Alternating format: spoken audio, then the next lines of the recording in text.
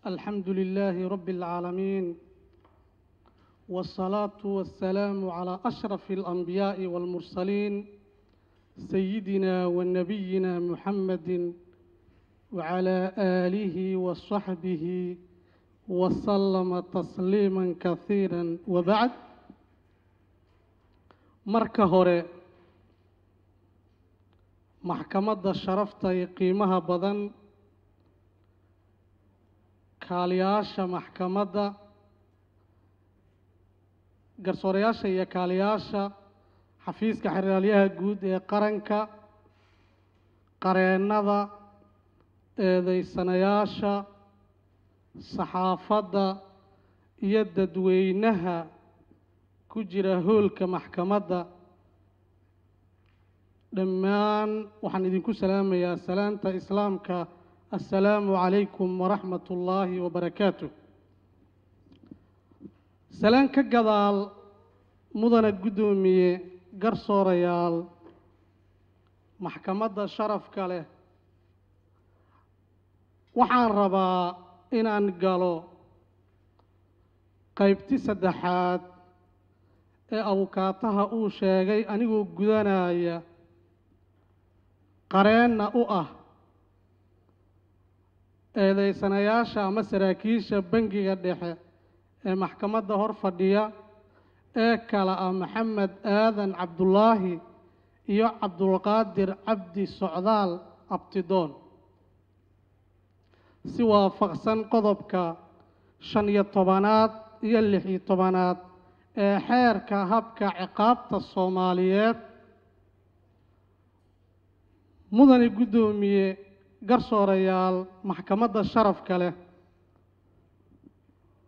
Waxaa maxkamadda haddu ay dhegaysatay daqiiqada ka hor faktiskii iyo dhacdooyinkii kayskan ku hareereysnaa wuu soo jeediyey abukaate dudaaye oo aan bahwadaag ku nahay difaaca eedeysanayaasha waxaan rabaa inaan uga gudbo meeshaas qodobada ku qoran eedda xafiiska xerilaalyaha guud ee qaranka ee beeska u ah oo ay ku taagan yihiin ayaan rabaa anigoo og in ay maxkamaddu igaga aqoon badan tahay igagana khibrad badan tahay qodobadaasi inaan faallo yar oo kooban ku sameeyo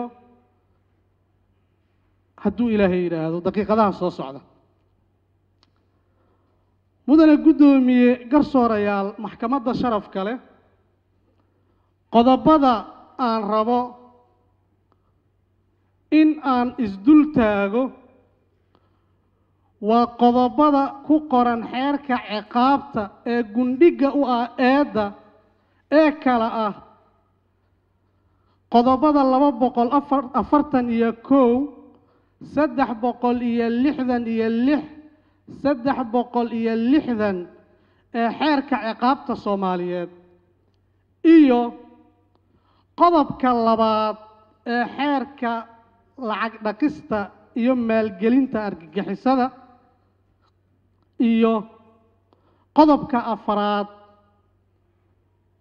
ee xeerka ama sharciga maareynta maaliyadda mudane guddoomiye garsoorayaal maxkamadda sharafka leh falanqaynta qodobadaasi waxaa saldhig u ah oo bays u ah xogtii ay heshay maxkamadda hadda oo lagu daray qodobka labaatanaad ee xeerka hab xeerka ciqaabta soomaaliyeed ee la rabo xafiiska xer ilaaliyaha guud si waafaqsan. Qodobka boqol lixdan iyo saddex xeerka habka ciqaabta soomaaliyeed in faldembiyeedka uu caddeeyo si aan shaki ku jirin eedeysanahana inuu dembiga galay uu yahay midkii galay isna waxaa la rabaa inuu u caddeeyo si aan shaki ku jirin.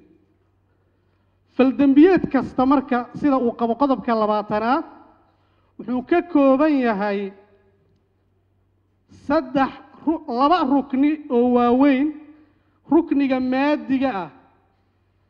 Rukniga maadiga ah oo ay faldembiyeed kasta ka kooban yahay mudana guddoomiye garsoorayaal waxaa shardi ah in la helo ficilkii natiijadii iyo xiriirkii ka dhexeeyey labadaas xafiiska xiraalyaha guud ee qaranka waxaa waajib ku ah oo laga rabaa saddexda cunsur ee waaweyn ee qodobka uu tilmaamayo labaatanaad inuu mid kasta u caddeeyo si aan shaki ku jirin. Oo falkii xeer ku tilmaamay oo qodob ka tilmaamay oo ku qoranna uu caddayn aan shaki ku jirin ula yimaado natiijadii ka dhalatay falkaasna caddayn aan shaki ku jirin uu ula yimaado. Xiriirka ka dhaxeeya falka iyo natiijadana inuu caddeeyo si aan shaki ku jirin. Waajibkaas xeerka ayaa ku waajibiyey xafiiska xeraalyaha guud ee qaranka. Waxaan rabaa marka ayadoo maxkamadda faktiskaas iyo xogtaas noogaga aqoon badan maankana ku hayso mudane guddoomiye garsoorayaal ujeeddada falanqaynta aan rabo qodobada sababtaa u falanqaynayana ay tahay in eedaysanayaasha aan difaacayno oo ah saraakiisha bangiga dhexe aan lagu tuhmi karin qodobadaasi ay soo qaateen xafiiska xeer ilaalinta annagoo mid mid u dul istaagayno haddii ilaah yidhaahdo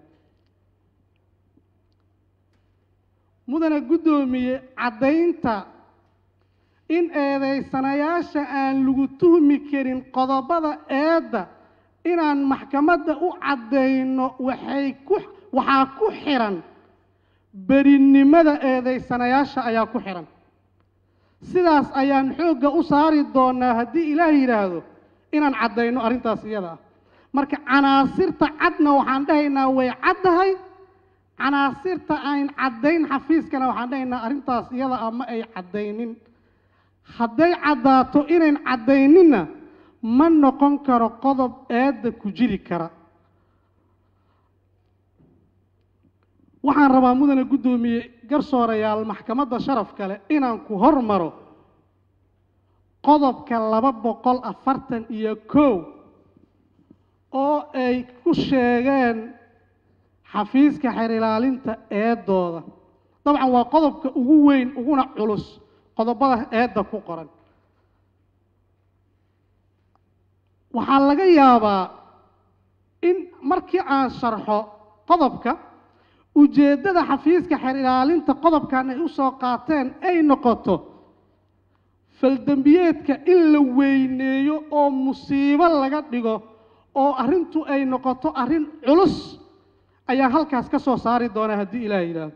Ujeeddadaas inay lahaayeen waxaan rabaa mudane guddoomiye canaasirta uu ka kooban yahay laba boqol afartan iyo kow kow laba boqol afartan iyo kow wuxuu sheegaa oo canaasirtiisa ay ka kooban tahay qofka lagu eedeynayo qodobkaasi horta waa inuu yahay shaqaalo dowladeed. Amba sargaal idman oo shaqaalo dowladeed oo rasmi ma ahee waa shaqaa dowladdii u dirsatay. Hool dan guudaa lagu aaminay amba hool guudaa loo diray. Waa cunsurka koowaad ama tiirka koowaadu uu ku taagan yahay qodobkaasi qofkaasi waxaa la rabaa haddana isla qodobka wuxuu sheegayaa tiirka labaad. Qofkaasi inuu lacag dowladeed gacantiisa uu ku haayo. Waxaas uu lunsanaayo lacagtaas uu rabo inuu leexsado ama uu lunsanaayo waa in ay gacan waa inuu gacantiisa ku haayo. Lacagtaas uu gacantiisa ku haayana waa inuu lunsado uu leexsado asagoo xafiis ahaan ka faa'iidaysanaya arrintaas iyada. Ah waa tiirarka ugu waaweyn ee qodobkaasi uu ku tiirsan yahay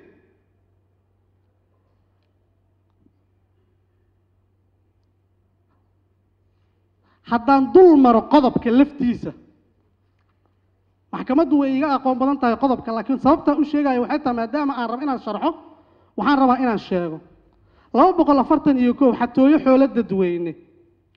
Sarkaal dowladeed amba qof lagu aaminay adeeg dadweyne oo si caqligal ah oo xafiiskiisa ka timi. Waxaa la rabaa marka uu ku takrifalo waa in xafiis ahaan uu ugu takrifalayo. Uu ku takrifalo.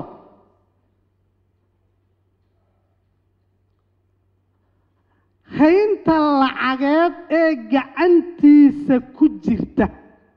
Haynta lacageed ee gacantiisa ku jirta.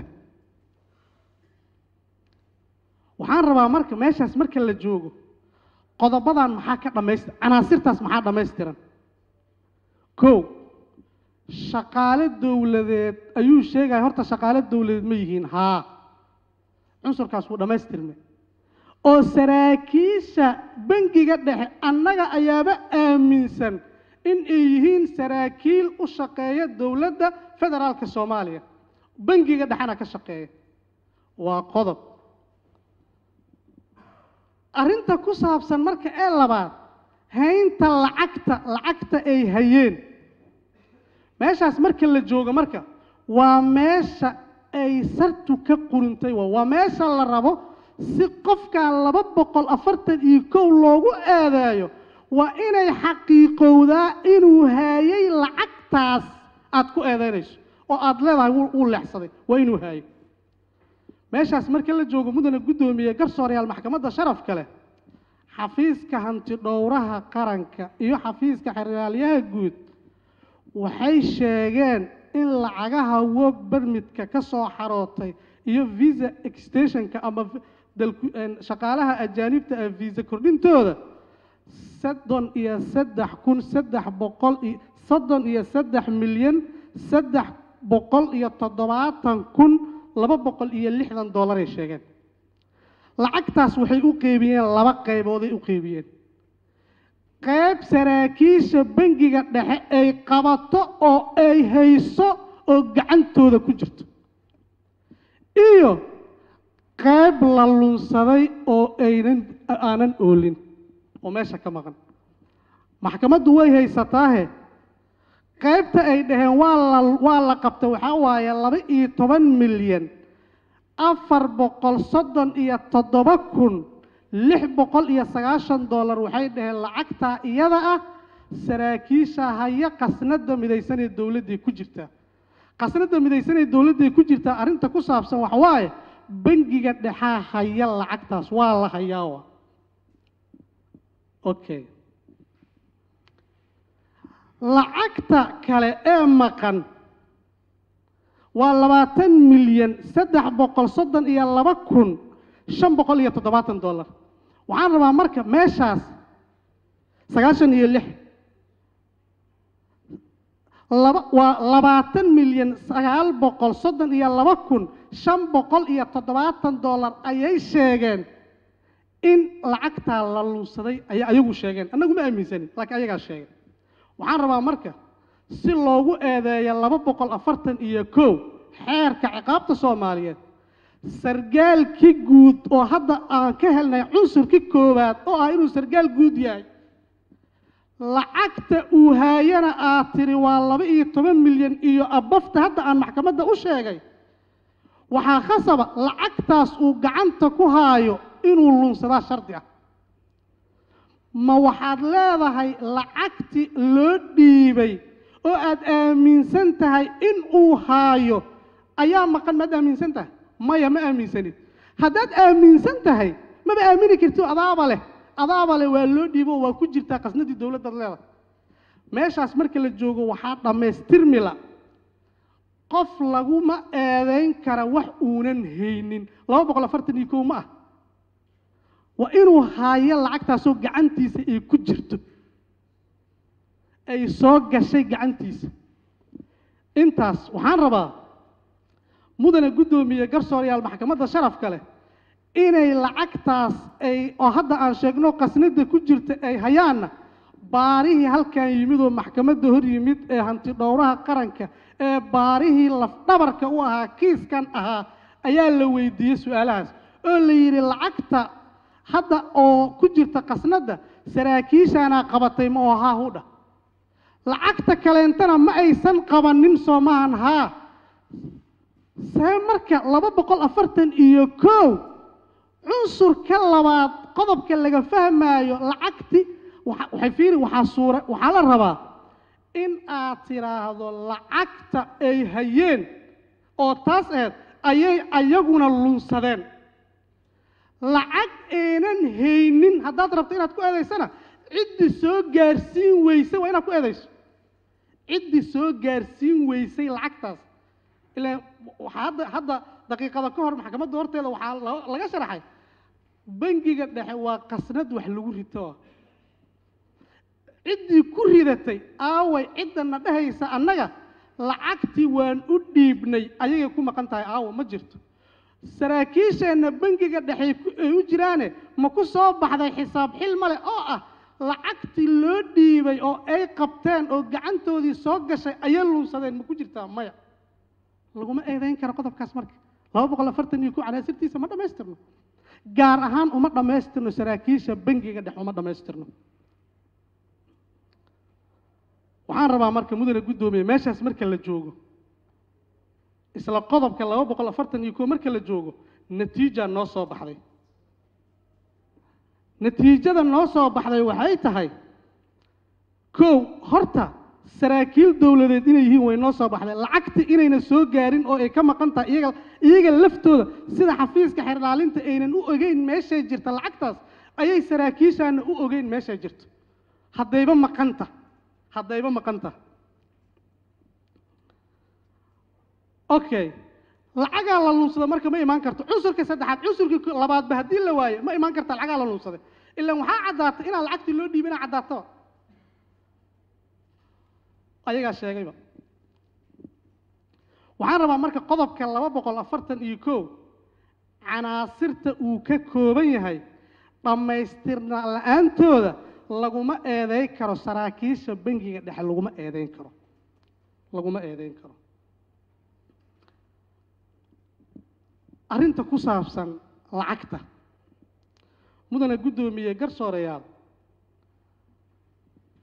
lacagta ay sheegeen oo ay dhaheen qasnada dowladday ku jirtaa muddada baaritaanka ay ka soo bilaabeen oo labada kun siddeed iyo tobanka ilaa iyo n abriil n ilaa abriil ilaa abriil n sagaal iyo tobankeeda lacagtaas lacag ka badan ayaa bangiga dhexe ku soo dhacdayba. Waa cadday doonaa waxaana waxaana ku sharxi doonaa marka khaladaadka baarista la gaaraa lagu sharxi doonaa. Aniga marka hadda dowrkeyga ma ahan inaan arrintaas sheego ma aha inaan sharxo. Ee waxaan rabaa qodobkaas bis inaan isdul taagaan rabaa. Waxaan rabaa mudane guddoomiye garsoorayaal maxkamadda sharafka leh. Lacagta maqan oo ay leeyihiin waa maqan tahay waxay leeyihiin oo saraakiisheenna annaga bangiga ay leeyihiin ay rabaan inay kula xidhaan. Lacagtaas waxbay ka lunsadeen. Lacagtaas waxbay ka lunsadeen. Waxaa ka horraysa horta inay haayeena ka horrayso. Taas marka maxkamaddu aaday u fahamto ma rabo inaan inaan inaan ugu celceliyo ma rabo qodobka laba boqol afartan iyo kow waxaan rabaa inaan meeshaas uga gudbaan rabaa. Waxaan rabaa mudane guddoomiye. Qodobka laba boqol afartan iyo kow markii ay ku eedeynayeen dabcan falsafadihii ay isticmaalayeen abukaata dudaay hore maxkamadda ugu sharay ma rabo reputation inaan ku sameeyo wixii aan ku celceliyo. Qodobka saddex boqol lixdan iyo lix. Qodobka saddex boqol lixdan iyo lix. Xeerka ciqaabta soomaaliya wuxuu ka hadlaa dukumiinti la been abuuray qofka dukumiinti la been abuuray sargaal dowladeedna uu been abuuray. Kow canaasiruu ka kooban yahay qodobkaas. Wuxuu ka kooban yahay kow. Horta qofka inuu shaqaalo dowladeed yahay marka uu dukumiintiga been abuuraayo. Laba dukumiintiga inuu sameeyey isaga. Shaqadiisa inuu ku dhex sameeyey. Waxaa la rabaa qodobka wuxuu sheegaa oo si cad u tilmaamaa inta uu shaqadiisa gudanayey waa inuu dukumentigaas sameeyey oo ay la xiriirta shaqadiisa. Wax la xiriiray ay yihiin. Qodobkaa tilmaamaya canaasirta qodobka uu ka kooban yahay ayay ku jirtaa. Waxaan rabaa marka aan isdul taagno shaqaalo dawladeed maya haa fiir qodobadoo dhanba keliya waxaa laga yaabaa xafiiska xeer ilaalinta inay ka soo buuxiyaan oo ay dhahaan qofka horta shaqaalo dawladeed maya bangiga muu shaqeeya haa soo bax waa la- soo xiro. Fiir shaqaalo dawladeed inuu yahay kuma filno. Waxaa ka horeeyo waxaa la rabaa dukumiintiyuu sameeyey. Maxaa dhaafsiisan oo caddayn ah? Xafiiska xeer ilaalinta inuu yidhaahdo dukumiintiyay sameeyeen. Hanti dhoorahana uu yidhaahdo dukumiintiyay sameeyeen. Oo afka ah maxaa dhaafsiisan oo caddayn ah? Oo maxkamadda loo keenay? Ma waxaa la keenay dukumiinti laga soo qaaday socdaal iyo maxamed cabdulaahi aadan maa la keenay? Maya ma dukumiinti ay ku shaqaynayeen oo been abuur ahaa la keenay? Waa maya. Ma waxaa la keenay dukumiinti laga soo qaaday guryahoodii maa la keenay? Maya. Kumbiyuutaradoodii wax laga soo bixiyey ma la keenay? Maya. Maxaa la keenay marka? Maxaa caddaynaya? Oon ka ahayn dukumiintiyay sameeyeen aan ka ahayn.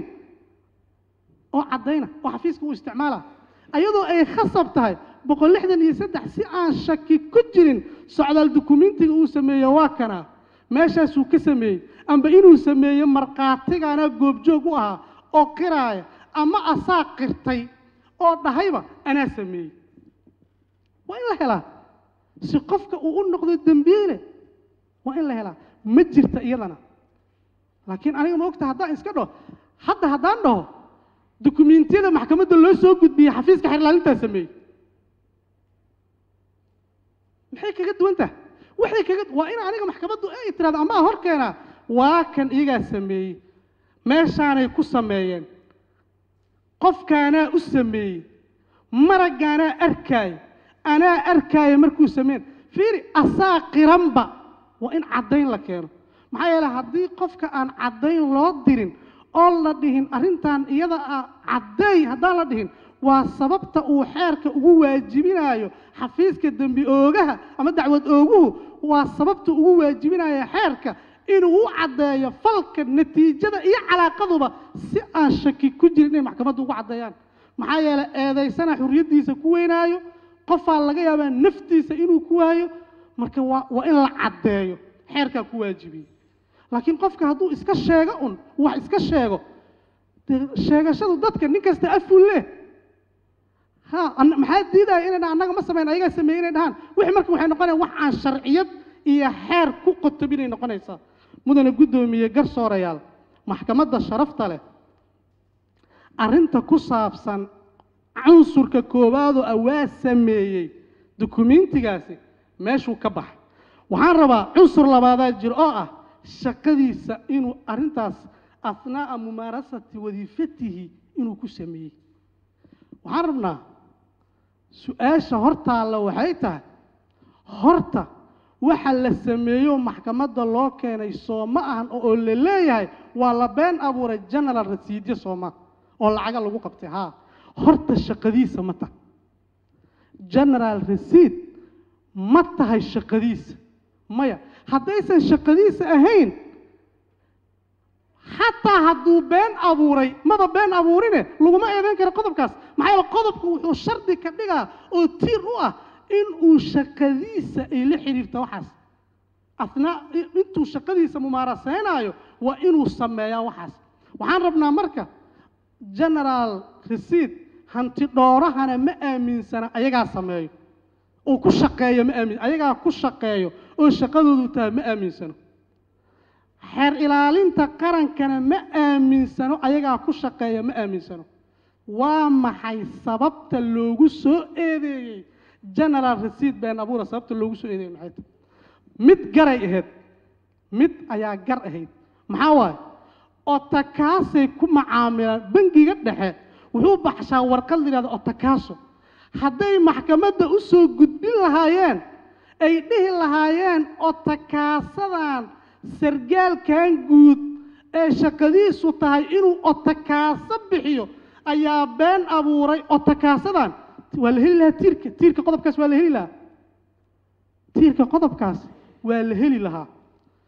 Laakiin haddaynaba dhicin haddaynaba dhicin in otakaaso ay shaqadiisu ahayd oo u jaraayay dadka aan la dhehaynin wuu been abuuray otakaasadaasi ma jirta sabab loo dhihi karo general receipt oo shaqadiisa ahayn uu been abuuray.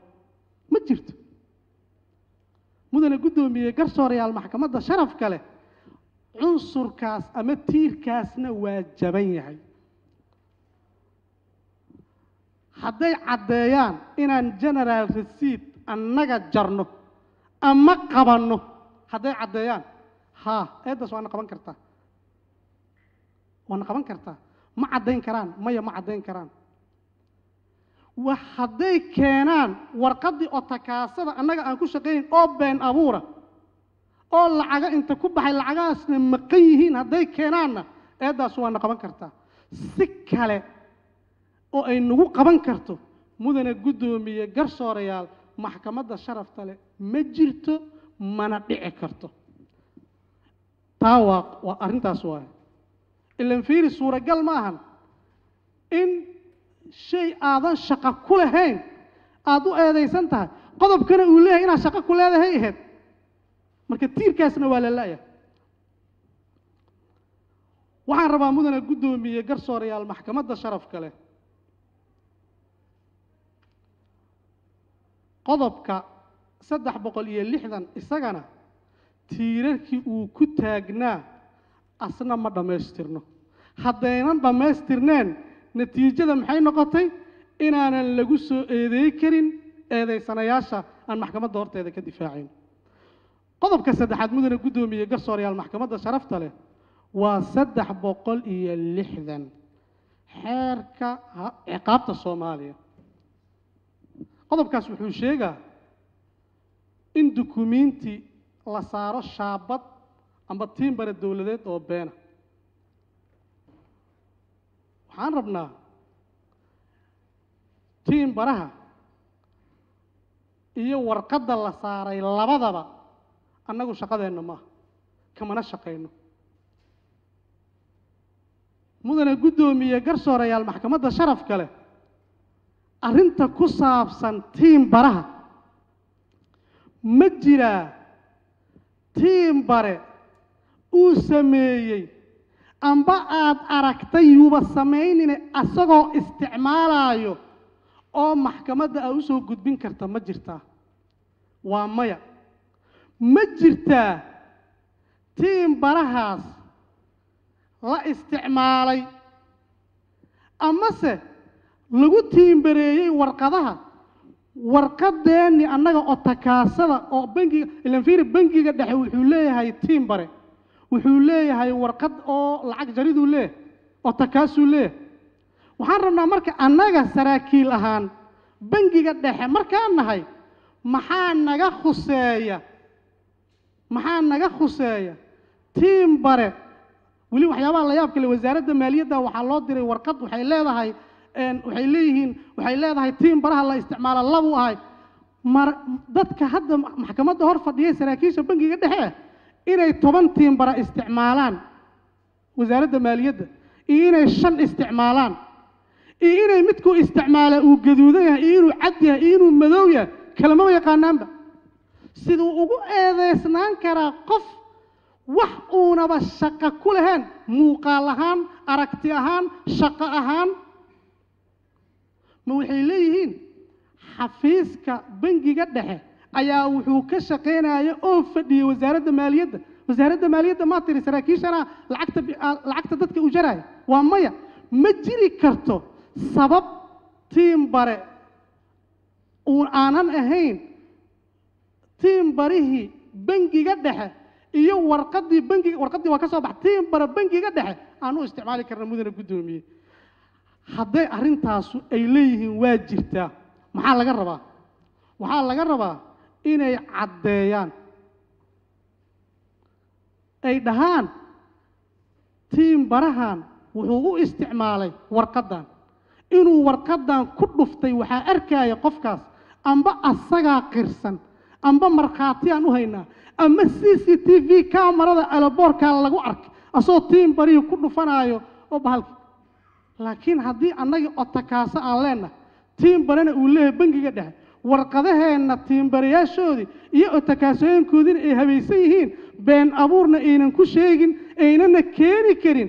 Ma jirta sabab ay noogu saariyaan amba ay dusha nooga saaraan. Dembi aanan annagu gelin. Marka qodobkaasna tiirarkiisaas ma dhammaystirno lagumana eedayn karo. Mudana guddoomiye garsoorayaal maxkamadda sharafka leh eedaysanaasha maxkamadda hor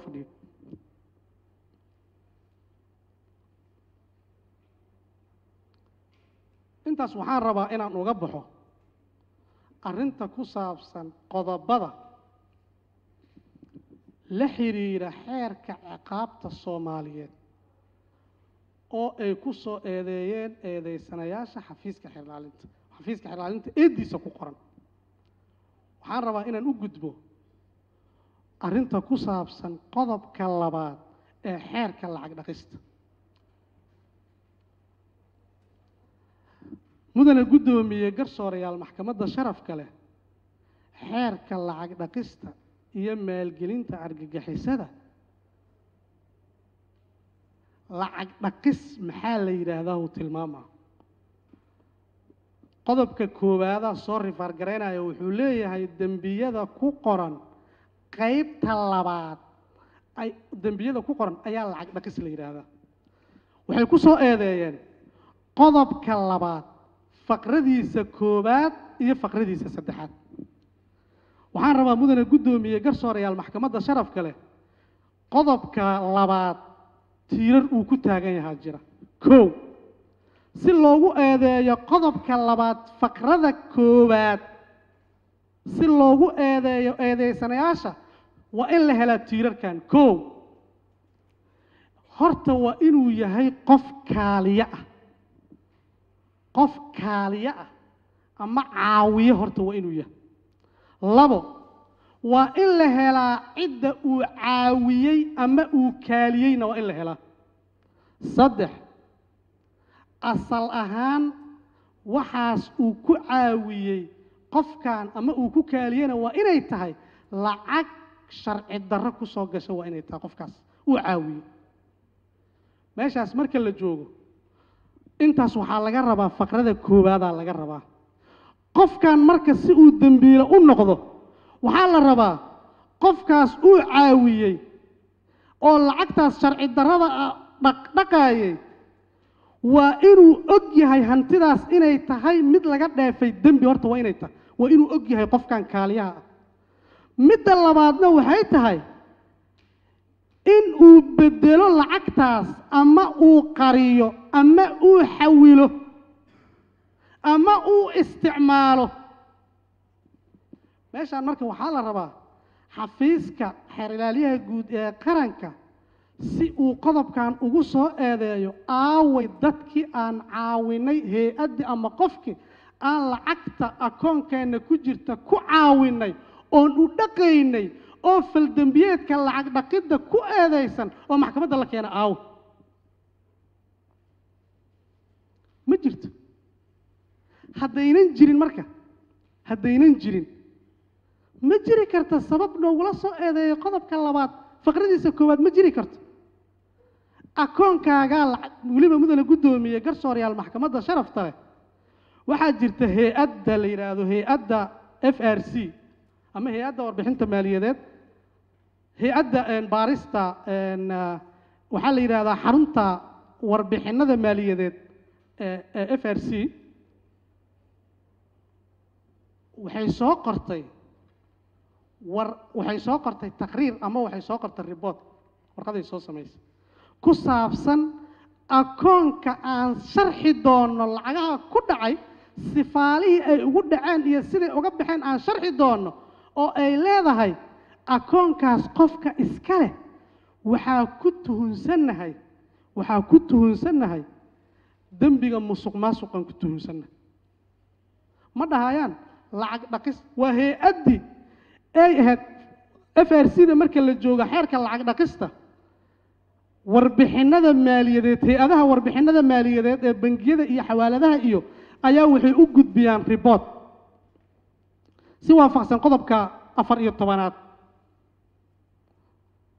si waafaqsan qodobka afar iyo tobanaad iyo sagaal iyo tobanaad faqrooyinkiisa dambe.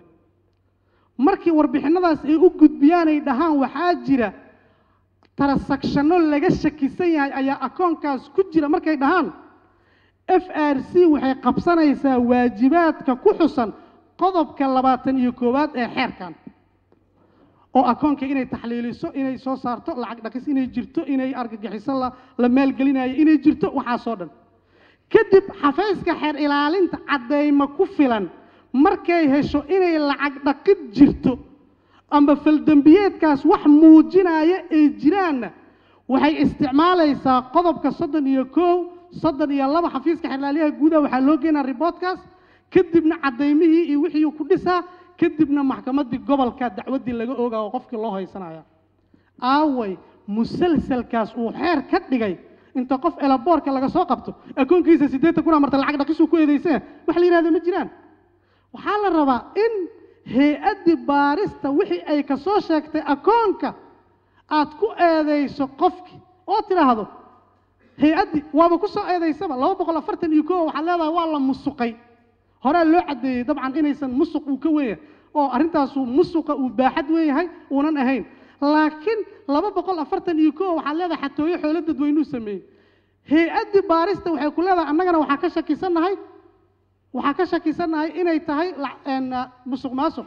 Adigana waxaad leedahay maya maya musuq maasuq uma shakirsin ha anigana waxaa uga shakisanahay waxa la dhaho. Lacag dhaqid. Arrinta ku saabsan mudana guddoomiye faldembiyeedyada xafiiska xeer ilaalinta way duubantaa wuxuu leeyahay tarasakshanada maray ilaa hadda waa ka shakisannahay annaga waa tarasakshanno keenaaya shaki. Hadda haddaa ka shakisan tahay maxkamadda ha keenin.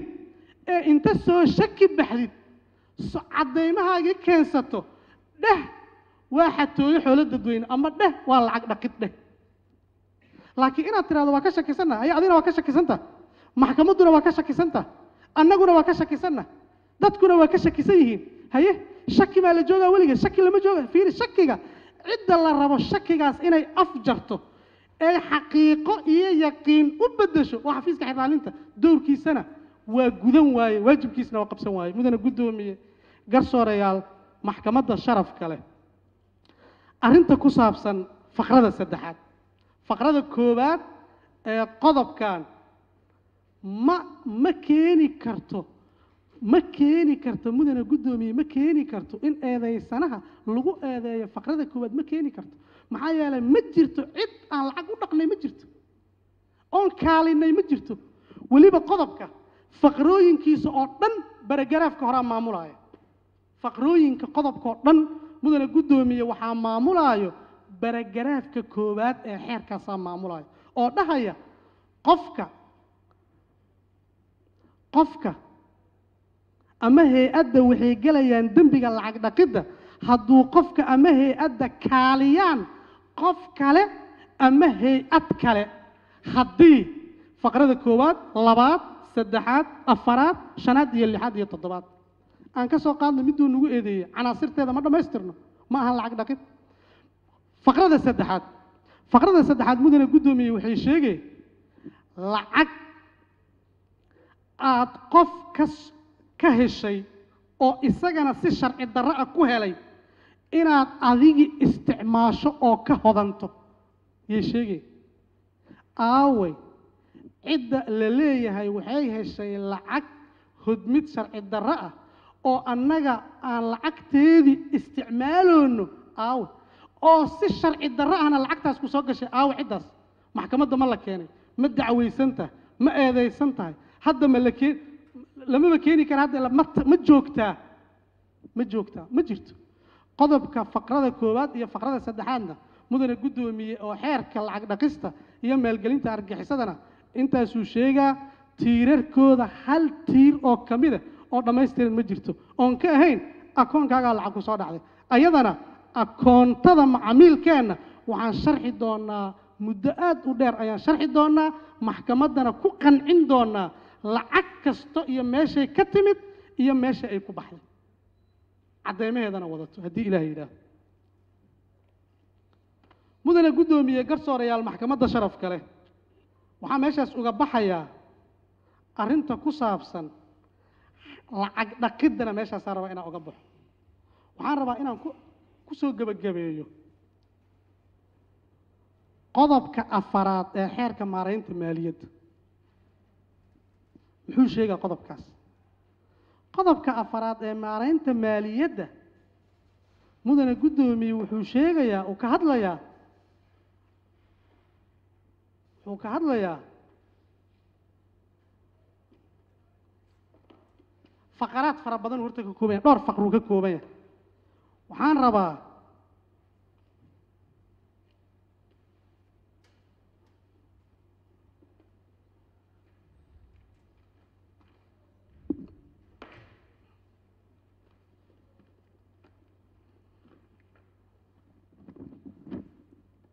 qodobka afaraad ee sharciga maaraynta maaliyadda mudane guddoomiye wuxuu ka hadlaa. Horta faqrooyin badan uu ka hadlaa laakiin faqrada ay rabaan ama ujeeddada ay ka rabaan eedeysanayaasha inay ku eedaayaan ku eedeeyaan waxay ahayd inay sheegaanay ahayd. Maxaa yeele wuxuu ka kooban yahay qodobka saddex faqro iyo wuxuu ka kooban yahay oo weliba faqrada saddexaad ba ta ja xa kha da ra ilaa sa ah. Waxaan rabnaa marka waxaan u fahmay qodobkoo dhan oo isku duuban nuxurkiisu waxay tahay lacagaha ka soo xaroodo dakhliga dowladda inay ku dhacaan qasnadda midaysan ee dowladda inay ku dhacdo.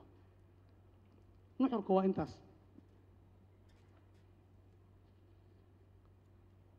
Qodobkaasi lacagta ku dhacday koontada bangiga dhexe ama qasnadda dowladda lacagta ku dhacday oo annaga aan qabannay. Mudane guddoomiye annaga iyo ayaguba waa isla ogolnahay annaga waxaaba ayagu inay ogol yihiin annaguna intaas in ka badan inaan qabannaan aaminsannahay laakiin ma jirto lacag ay ahayd inay khasnadda dowladda ku dhacday oo na soo gaartay annaga oonan khasnadda dowladda ku shubin ma jirto haddee jirto inay caddeeyaanaa laga rabay. Mana aysan caddayn.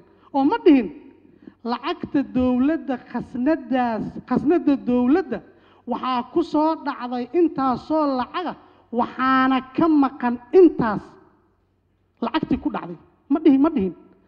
Annaga lacagtiina soo gaartay oo ay qabteen saraakiisha bangiga dhexe oo ay ku shubeen sa- saraakiisha wasaaradda maaliyadda way ku jirtaa waa haynaa waan qabannay. Waxaan ku qabannay tiin baraheenna oo takaasaheenna iyo caddaynteena caddaynteedana maxkamaddu ayadaaba ayadaaba qodobadii horena waa ku soo faahfaahiyey. Marka si ma jirto sabab qodobka afaraad ee xeerka maaraynta maaliyadda. Mas'uuliyad annaga aan ka gaabinay ama shaqo annaga aan rabin inaan qabanno oo aanan qaban maba jirtaba. Marka ma jirto sabab noogula soo eedeyn karo qodobkaas. Mudane guddoomiye garsoorayaal maxkamadda sharaf kale qodobada xeereed oo ay xambaarsan tahay eedda oo ay xambaarsan tahay eedda waa inahaas. Qodobadaas oo dhanna tiirarka ay ku taagnaayeen ma dhammaystirno mana caddayn karaan. Qaarkood in lagu soo eedeeyaba khaladay ahayd. Qaarkoodna ha lagu soo eedeeye caddaymihii tiirarkaas ay ka kooban tahay qodobka idna ma jirto. Waxaan rabnaa mudane guddoomiye garsoorayaal maxkamadda sharafka leh intaas markaan uga gudbo qodobada waxa keliya ee xafiiska xiraalinta eedeysanayaasha ay u hayaan waxa waaye saraakiisha bangiga dhexe waa arkayeene maxay u qaban waayeen iyo heshiisay ku ahaayeen niman isku xihan oo shabakada ayay ahaayeen. Arrintaas iyada laftirkeeda aad tirahdide caddeey maxkamaddii u caddeey annagaa ka difaacayno oo diyaar u ah waxaa la rabaa inaad u caddayso. Waxay qirsan yihiin ama aan qornay oo garsoore hortiisa ay ka sheegeen in ay heshiis ku ahaayeen lacagtaas. U sheeg maxkamadda warqaddaas. Geey maye ana waa la markhaatigaasaa jira. Heshiiska waa kanaa meeshaasay kula heshiiyeen. Waxyaabaha la yaab kale mudane guddoomiye waxay dhaheen cod ee jira eedeysanayaasha ay iskula hadleen. Aawey codkaas aawey maxkamadda ma u geysay ma u dirtay ma la dhegaysiiyey codkaas adiga miyaa ma la yidhi? Waa maya. Ma jirta marka sabab aad u tiraahdo heshiisay ahaayeen. Arrinta maxaa uu arki weyseenna? Abukaata dudaay ayaa hore uga hadlay ma raba inaan ku noqnoqdo. Aad ayay maxkamaddu u mahadsan tahay fursadda ay ii siisay qodobada inaan maxkamadda u bidhaamiyo doorka doorka igaga aadanayna aan maxkamadda u sheego. Waa mahadsantahay intaasaa rabaa inaan ku koobo soo gudbinta qodobada iyo falaqayntooda maxkamadduna waa mahadsantahay